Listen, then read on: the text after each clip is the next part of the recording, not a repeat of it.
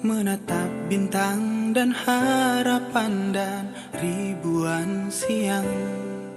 Menahan terik penantian Mungkin Tuhan ingin Kita sama-sama untuk mencari Saling merindukan Dalam doa-doa Mendekatkan jarak kita.